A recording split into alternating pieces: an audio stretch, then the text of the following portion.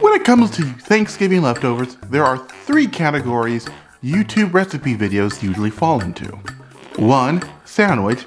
Two, stuffing as much crap into a waffle iron as possible.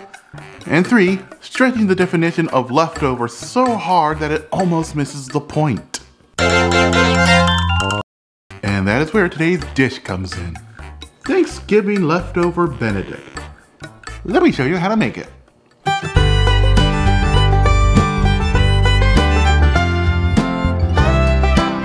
Base is actually just fried mashed potatoes. Now using a disher that's about a quarter cup in size, grab your leftover mashed potatoes. So just grab a scoop of mashed potatoes, put them on a plate. Now using a spatula, just just gently smash it down on it like a burger patty. And uh, just try your best to reform it if it gets a bit damaged. And uh, scrape underneath it just to make sure it doesn't stick. Okay, once the mashed potato patties are formed, grab a frying pan and put it over medium-high heat. All right, let's toss in some oil. Place our mashed potato patties inside. Okay, cook for about two minutes aside. All right, once the two minutes are up, flip it over. Okay, all right, once it's done cooking, transfer it to our plate. All right, once the mashed potatoes are all nice and crispy, layer on some sliced turkey.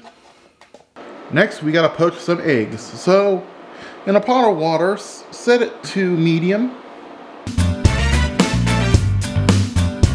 Okay, when it comes to a simmer, reduce the heat down to low. And uh, let's swirl it around.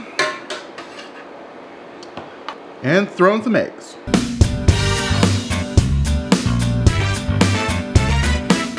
And uh, let them cook for about three minutes.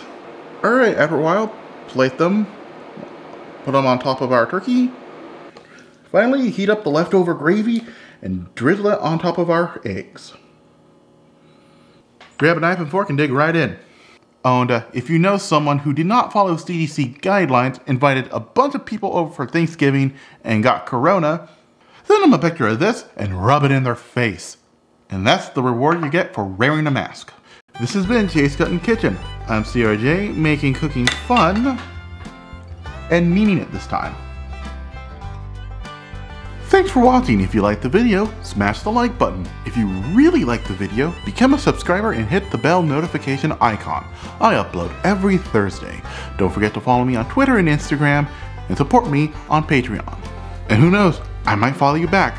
Unless you're the kind of person who spams people's feed with shallow political posts, then forget it.